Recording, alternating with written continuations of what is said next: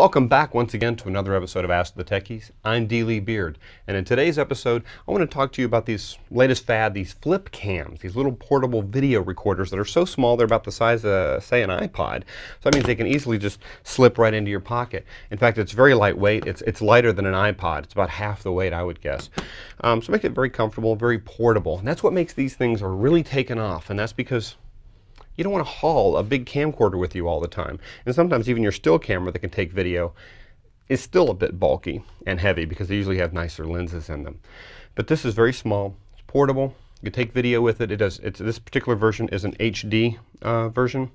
Um, so you can do high definition video, although it's not truly high def. It's actually 720 uh, pixels. The video quality is only so-so. It's not as good as a regular camcorder would be. You could tend to get some color uh, balance that's off and some detail is lost a little bit in spite of the fact that it's supposedly 720 pixels. I wonder how they're doing that because the quality, not getting the detail that you do with some other cameras. Um, it has a built-in USB port, so you just click on this little switch here on the side and a USB port pops out and this means you don't have to worry about a cable. Although you might need an extender cable because the way this plugs in this may not fit very comfortably into your computer uh, USB port, depending on what other devices that you have. So you might want to invest in a little small extender port. This doesn't have any way to output your video to a TV set. And I mean, it has a little port, but technically this only exports to SD. It's an HD camera and it doesn't export to high definition. So if it's a big you know, widescreen TV, you're trying to play the video in a classroom or something, it's not going to be able to do that. So be aware of that. And one of the biggest minus I have with this is the lack of quality audio. The, the microphone is, is right back in here, a little you know space behind here, and it does a, uh, uh, a decent job as long as it's I'm this far away from the camera, just about you know three feet away. Uh, but if I start going farther away, then it starts becoming a little bit different a situation. Um, in fact, I have some video here I'll play for you in a minute to let you be able to judge for yourself what it's able to do about 3 feet to 10 feet away. And see, what else do I need to tell you about this? Oh, the controls in the back. While the start button is a very simple, you know, click, and you can actually feel the click when you actually push down on it. The other buttons, let me turn this on for you, are kind of hidden. They're touch sensitive, so they're kind of like some of those elevator buttons you just touch. There's nothing that actually depresses. And so there you go. Um, you, you, touch these things and, and they do things and it's easy to accidentally hit them and next thing you know it's doing something else because you didn't realize when you were holding it. In fact, it's very awkward to hold. It's not a natural place. A regular camcorder does this where you can hold it up to your eye and you can angle in what you're doing. But with this one, you got to hold it this way and to push, you've got to grab it with your thumb and push on it and then you lose your good grip because you got to somehow squeeze it with your other fingers while you push the thumb in and it makes it so it's almost like you really got to hold it with one hand and then uh, push it this way. That's what you really need to do. Oh you can't get anything up close. You can only you know be about you have to be at least two feet probably three feet away to get anything. So if you want to take you know a little video of bugs crawling around or something like that that's not going to work. Flowers there is no real good macro uh, version for this unlike some competitor products um, the screen is very small. If you look up here and, and, you take a look at that screen, you see it's pretty small. I can easily cover it with my finger. And now you can't see anything. That's way too small. If I am trying to hold it out, I'm at a concert and trying to catch video, I can't tell if I've got the band in the shot or not. Um, because uh,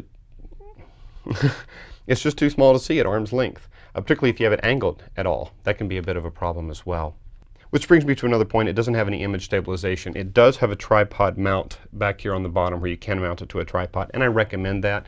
There is no image stabilization built in, although with something like iMovie 9, you can probably do a better image stabilization than what you would get built in with one of these. But it, it's very easy to jerk because it is so lightweight. It's not shaped like your hand. If it was shaped more like a, a, gun or something, that would be easier to hold, where you would actually start to record this way, you know, like a trigger, that would just be so much easier to be able to do. But the, the fact that I'm holding it like this, and in order to hit record, I got to take my finger off the camera. It, it, the camera wants to tip forward, so it's difficult to try to do that. There are some zoom features in here, but it's only a digital zoom. So if you try to use those, it's useless. You might as well zoom within your video editing software. Uh, it does come with some software to edit, by the way, but I it's not very advanced. You're probably better off using Windows Movie Maker, or if you use Macs, using iMovie. That'd be a far better way for you to be able to go to edit your video.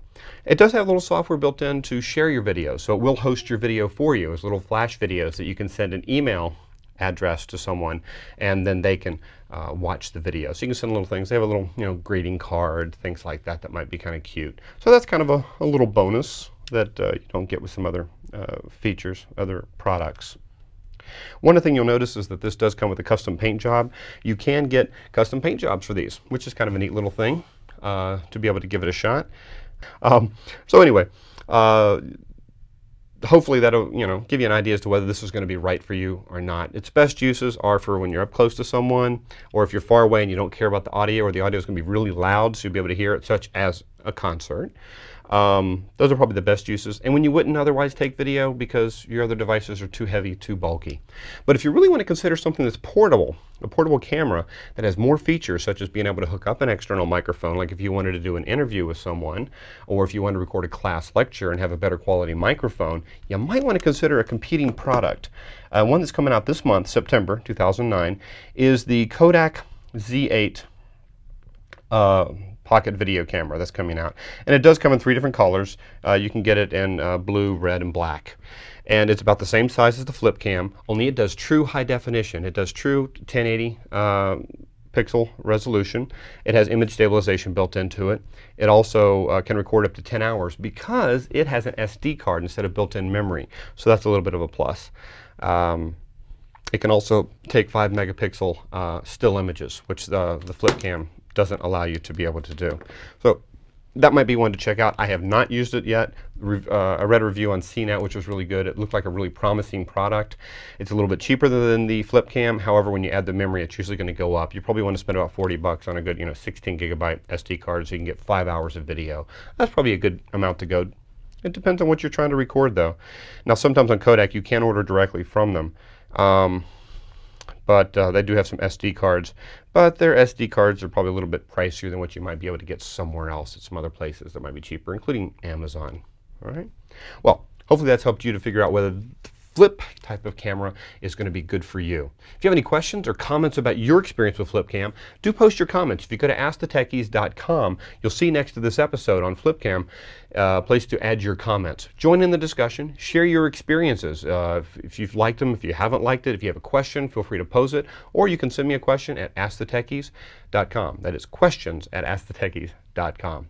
Thanks for watching. Hope you enjoyed it. This is holding the camera out at arm's length. Uh, I can't tell whether I'm in focus, but I'm going to give it a shot and you get an idea for how well the audio sounds.